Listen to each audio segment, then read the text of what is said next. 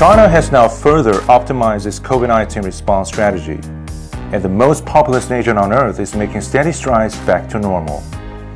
COVID 19 has raged on around the world for three years. Maybe now is the time for us to look ahead, but by looking back first. How did we get where we are today? And how could we define our three years battle against COVID? Three years ago, I went to Wuhan at the very early stage of the outbreak, and I saw a fight. It was the most widely mobilized campaign I have ever seen. Doctors, volunteers, disinfectant workers, delivery men, medics from armed forces, and every single resident who stayed at home biding time. They all resolutely joined together in a fight against an unheard of, unexpected, deadly infectious disease. A fight that took place in a city of 11 million people under 76 days of unprecedented lockdown. A fight that drew the strength of the entire nation with over 40,000 medical workers from across China rushing to one city just to face down an enemy invisible to the naked eyes. From newborns to centenarians, no COVID patients have ever been given up on, and 94% of the infected in Wuhan were cured or recovered. Life come before all else. China is set to lift lockdown measures on Wuhan in just over two weeks. The city of Wuhan has allowed people to leave. Wuhan has opened its doors again. The end of Wuhan's lockdown in April 2020 marked the end of the first wave of the COVID 19 in China. But the fight was far from over. Over the past three years, China has dealt with over 100 cluster outbreaks and kept the nationwide fatality rate at a relatively low level. The key word here is prevention. You know, China was the first to have to deal with this. It's always hardest to be the country where something emerges first because so little is known about it. With the initial success in Wuhan and accumulated experience in epidemic containment, China developed a system of COVID 19 prevention and control. The prevention measures entailed viral detection and contact tracing in a precise and targeted manner.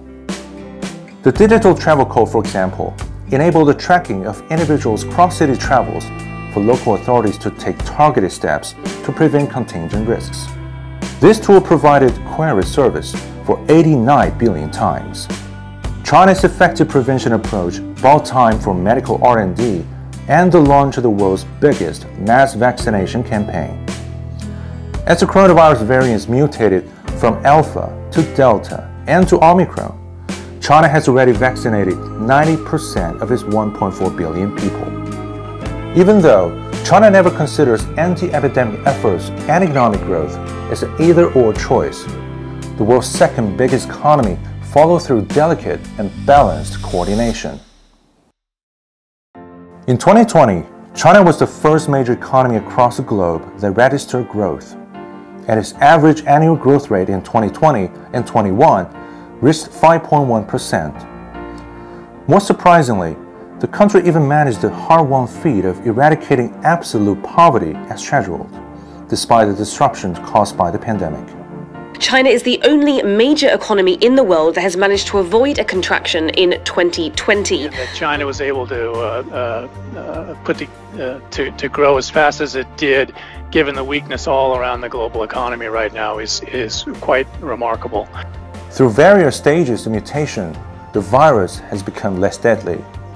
In a planned, science-based approach, China optimized its COVID-19 response strategy. As the virus turned weaker, the COVID response system grew stronger. In 2021, China inaugurated National Administration of Disease Prevention and Control, with its role expanded from containing diseases to safeguarding health of the entire population. China has issued a series of guidelines to prepare the country's healthcare system and ramped up vaccination efforts among the senior group. A safety net has also been created at the grassroots to fend off possible infection surges.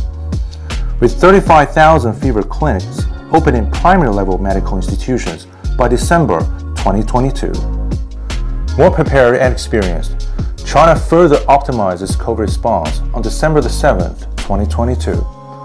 By rolling out more effective containment measures, China is well on its way to return to normal. At present, China combines the normalized and emergency response, improving disease monitoring and strengthening the protection of key groups.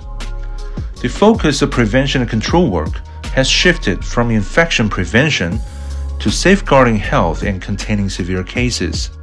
Normal life is built on a normalized approach. What's been going on over the past three years has changed everyone's lives. A protracted battle against COVID has made us cherish what we once took for granted. And by meeting this challenge head on, we've earned the right to once again look ahead. We fought, prevented, coordinated, and optimized. As the final victory of living a normal life is within our grasp.